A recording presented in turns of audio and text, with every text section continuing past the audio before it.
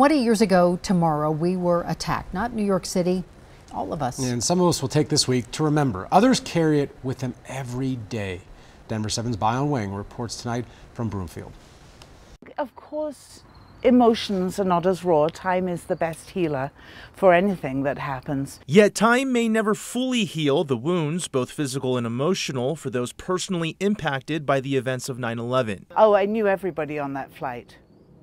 So that was really hard. Sharon Robinson was a flight attendant for United Airlines in Newark at the time. She worked side by side with those who perished when United Flight 93 crashed into a Pennsylvania field. Shock, uh, horror, all of those things, intense sadness. That stuck with her for a while, and on each anniversary, she reflects on that day at the 9 11 memorial at Community Park in Broomfield, where the names of her colleagues and all those who died that day are set in bronze. We never forget. These stones can only hold so many memories. It's why Sarah Ferris with the North Metro Fire Rescue District is creating an online living memorial, a place where the survivors of the terror attacks can pass down their memories and emotion of that day before they're forgotten. People can come and read those stories, see the photos, and really um, you know, reflect on those personal experiences that were tied to this tragic event. For the first time, the 9 11 memorial in Broomfield will also have a tribute wall. People can come by throughout the weekend,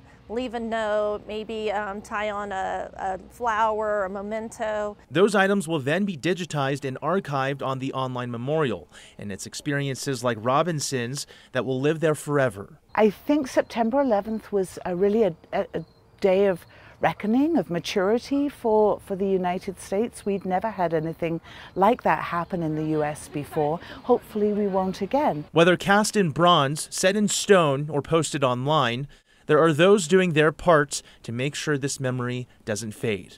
Bayon Wang, Denver 7. Of the 13 service members killed in Afghanistan last month, only one of them, 31 year old Marine Staff Sergeant Darin Hoover, would have been old enough to remember 9 11. Eventually, even the people teaching the history classes will have learned about it secondhand. It is our great regret that we know about the Coloradans who died that day, not through meeting them, but from the stories we tell. We never spoke with Jason Dahl, but we talk about him every September.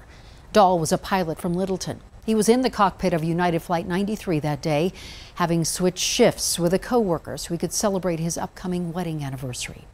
Kathryn LaBorie was the head flight attendant on United Flight 175, the plane that crashed into Tower 2. She was born and raised in Colorado Springs.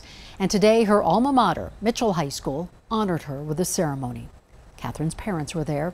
Her mom told KKTV that she thinks of her little girl when she wakes in the morning and before she falls asleep at night. Maclovio Joe Lopez Jr. had family in Pueblo and was aboard the same flight as Catherine.